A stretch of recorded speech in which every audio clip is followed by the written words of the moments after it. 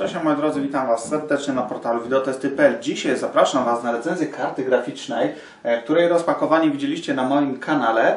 Jest to konstrukcja od Power Color R9 290K, czyli układ z chipsetem AMD w wersji z chłodzeniem PCS. Zapraszam na jej test.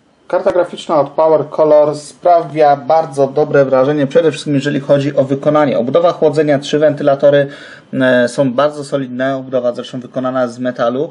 E, całość oczywiście chłodzona aluminiowymi radiatorami wspomaganymi ciepłowodami, no i przede wszystkim backplate, który tutaj e, i zabezpiecza nam całą kartę i również zwiększa walory wizualne.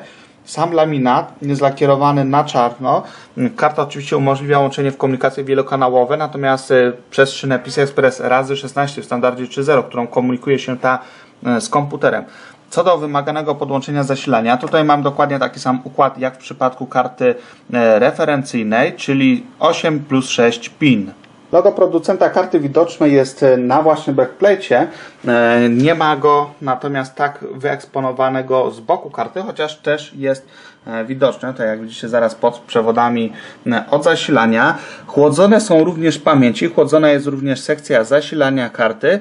No i tutaj procesor, producent zapowiada dość dobre OC tej karty. Ja również to sprawdziłem, a o wynikach porozmawiamy sobie przy okazji podsumowania. Co do podstawowych parametrów specyfikacji karty, to przede wszystkim bazowe taktowanie rdzenia to 1040 MHz, czyli mamy tutaj do czynienia z kartą podkręconą przez producenta. Taktowanie pamięci to aż 1350 MHz, mówię oczywiście o taktowaniu fizycznym. Ilość pamięci 4 GB, czyli standardowo tyle co w przypadku konstrukcji referencyjnej, szyna 512-bitowa. Natomiast co do pozostałych parametrów tej karty, oczywiście zapraszam Was do pełnej recenzji tekstowej na naszym portalu, do której link znajdziecie w odnośniku na opisie. Zanim przejdziemy sobie tutaj do gier, sprawdzimy jak karta graficzna sprawdza się tak w takiej praktycznej, w praktycznym zastosowaniu. Temperatura oraz głośność pracy dla zestawu nieobciążonego. Na razie jeszcze chodzą wentylatory na procesorze, więc sprawdzimy sobie najpierw temperaturę otoczenia, jaką dzisiaj mamy. 24,8 stopnia Celsjusza. Trochę jasne, ale o, widoczne. I zobaczmy, najpierw pobór mocy przez całą platformę testową. On jak widzicie razem z podkręconym procesorem wynosi około 120 kilku wat i to są faktycznie te wartości minimalne. Oczywiście pobór mocy zmienia się dynamicznie, to jest rzecz naturalna. I temperatury, moi drodzy. Tutaj sprawdzimy sobie program MSI Afterburner. Karta jest od dłuższego czasu już nie obciąża na tyle, że w zasadzie stosunkowo niedawno włączyłem MSI Afterburner. Jak widzimy ona wynosi 36 stopni Celsjusza. Jest stosunkowo dużo, natomiast prędkość obrotowa wynosi 30%. Najczęściej ona waha się w granicy w przypadku innych kart graficznych dla zestawu nieobciążonego około 25%. Tu jak widzimy jest trochę inaczej. Wszystkie wentylatory w obudowie są powyłączane, czyli czas na test głośności pracy zestawu. Ja się wyciszam i zobaczmy do jakich wartości tutaj spadnie.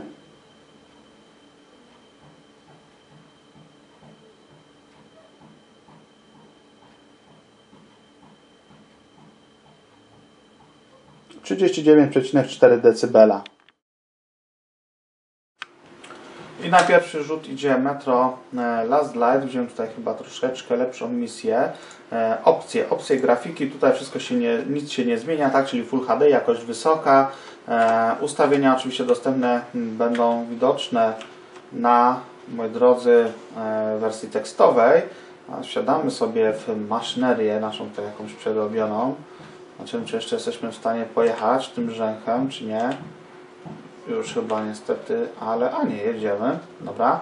E, jesteśmy w metrze, także tak jak przez większość czasu gry, zobaczcie jakieś grzybki halucynogenne. Ilość generowanych klatek ponad 100 fps, moi drodzy, e, czyli tutaj wystarczająca do płynnej i w pełni komfortowej e, rozgrywki. I tutaj myślę, że niewiele się zmieni, jeżeli chodzi również e, o, i do, a nie, jeszcze jedziemy. A tutaj za chwilę będą całkiem przyzwoite akcje. Dobra. No dalej ludki. Na razie nie strzelamy. Trzeba przyznać, że w ogóle grafika w tej grze jest całkiem przyzwoicie zrobiona. I lecimy sobie, moi drodzy, z następną grą, czyli Gridy 2. E, A teraz po prostu zapraszam Was, żebyście sobie zobaczyli, jak e, sprawdza się R9290 od Power Cooler, schłodzenie PCS Plus w praktyce e, i za chwilę kilka słów podsumowania.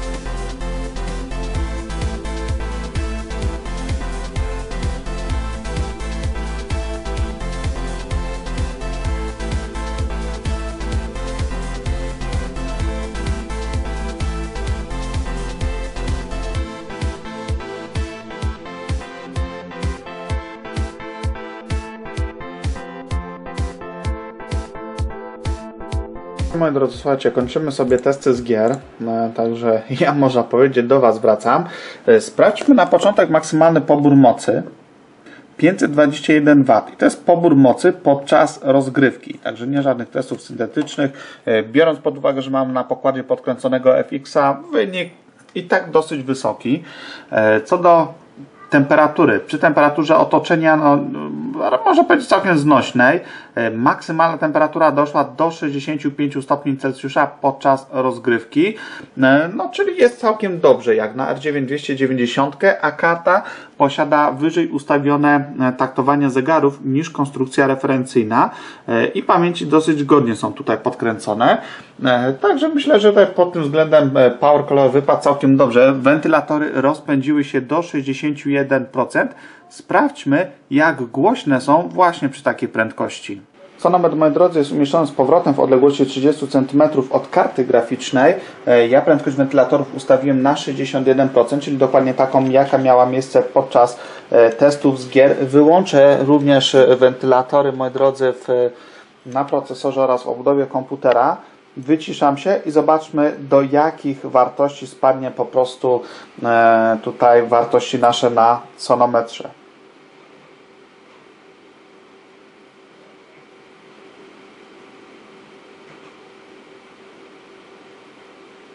48,2 dB to jest ta wartość minimalna. Teraz to jest mniej więcej około 80 cm od karty graficznej. No i posłuchajcie, że karta no, jest dosyć głośna niestety. Drodzy, jesteśmy już po testach praktycznych, przede wszystkim testach z gier karty od Power Color, od AMD 9290 z chłodzeniem PCS Plus. E, ta konstrukcja, muszę przyznać, że mnie troszeczkę zaskoczyła. E, spodziewałem się delikatnie innych wyników, ale po kolei do rzeczy. Co do parametrów technicznych, mamy tutaj do czynienia z konstrukcją, która względem jednostki referencyjnej jest wyżej taktowana, posiada zarówno wyższe taktowanie samej karty graficznej, rdzenia karty graficznej, jak i również pamięci. I mamy tutaj również do czynienia z niereferencyjnym chłodzeniem. Co do takich parametrów jak ilość pamięci, ilość jednostek cieniujących, tutaj nic się oczywiście nie zmienia, to samo dotyczy szyny pamięci. Zapraszam Was na takie porównanie do wersji tekstowej, link znajdziecie tradycyjnie w opisie. Natomiast teraz co do samej karty, to co zrobiło na samym początku naprawdę duże wrażenie na mnie, to jest jakość wykonania tej karty. E, Powell Power Color uchodzi za raczej konstrukcje, które są dedykowane osobom z mniej zasobnym budżetem. No i to oczywiście też się odbijało na jakości wykonania samych akceleratorów. Tutaj nie jest to widoczne w ogóle. Producent zadbał o najmniejsze szczegóły, od nawet koloru zaślepek, co jest bardzo małą istotą, tak na dobrą sprawę rzeczą, po oczywiście również wykonanie i wygląd samego układu chłodzenia ten w takich wojskowych barwach, ponieważ on nie jest całkowicie czarny, co możecie zobaczyć, e, może się podobać. Mi się osobiście podoba, karta wygląda naprawdę bardzo solidnie. Trzy wentylatory, e, to nie są takie typowe konstrukcje niskoprofilowe.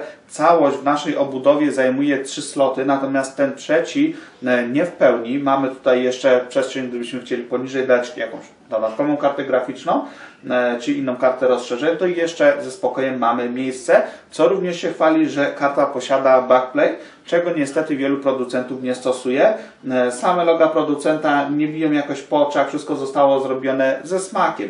Również PCB karty tutaj jest lakierowane na czarno, chłodzone są zarówno pamięci, jak i również sekcja zasilania karty, no i oczywiście sam rdzeń dwoma aluminiowymi radiatorami wspomaganymi ciepł, e, ciepłowodami, ale tutaj nie niklowanymi. To są zwykłe, e, tradycyjne 6 mm ciepłowody. Myślę, że troszeczkę tutaj przez ten wentylator prześwituje.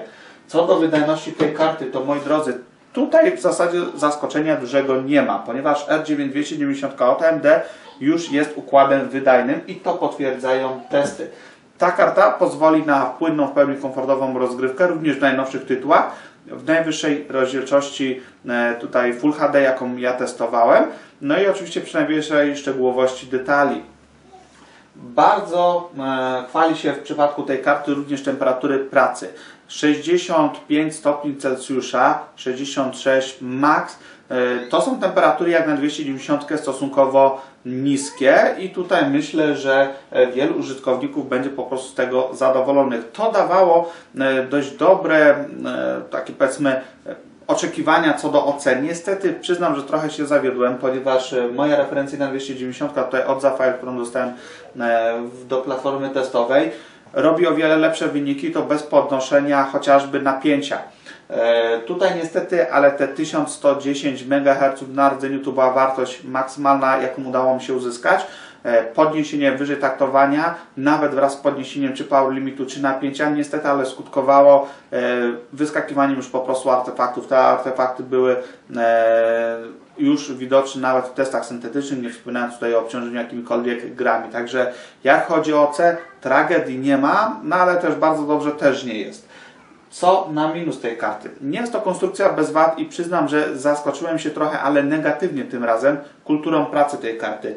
Niestety ta karta można powiedzieć, że zaraz po konstrukcji referencyjnej to jest druga z najgłośniejszych konstrukcji. Niestety, ale, ale tutaj Power Color, mimo dość potężnego chłodzenia, e, nie uzyskał dobrego wyniku i jest to na pewno karta, która nie jest adresowana dla cichofili. I to jest moim zdaniem największy minus tej karty graficznej.